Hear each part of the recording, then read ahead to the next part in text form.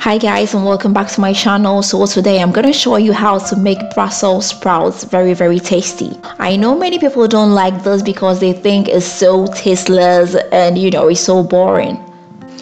But I do love Brussels sprouts because I know how to make it very tasty. So I have here about 400 grams of Brussels sprouts. I'll just put it in a bowl and start cutting off the head. Now you should be careful. As you can see, there is a worm. Yes, I mean this is a good, you know, signal because it means it is fresh and it doesn't contain, you know, any harmful chemicals.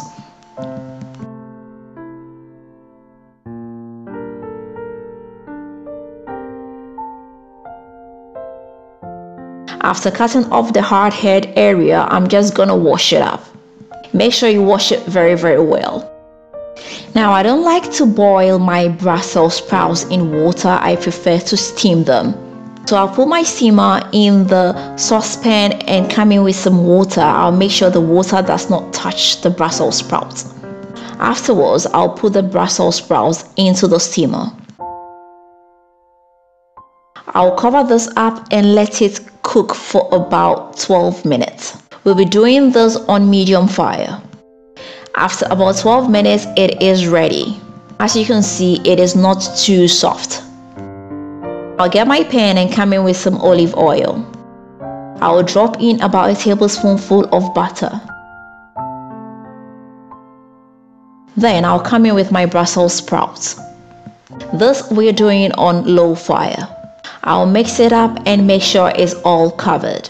The butter adds some extra flavor to it. Now come in with my favorite seasoning and keep on mixing.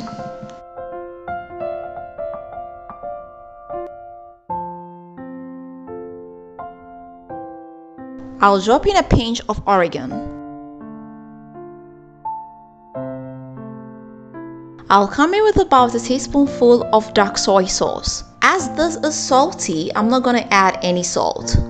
So after cooking for about 3 minutes, it is ready or you can just wait for it to start browning a little bit and you know it's time to put off the fire. I just love to eat my Brussels sprouts like this. It tastes better and I can finish a whole plate in 10 minutes. Alright guys, I hope you are gonna give this a try. If you've not subscribed, please don't forget to hit the subscribe button right now. Don't forget to share this with your family and friends and don't forget to leave me a thumbs up. Until next time, I'm gonna see you again with another nice and interesting one. Bye bye.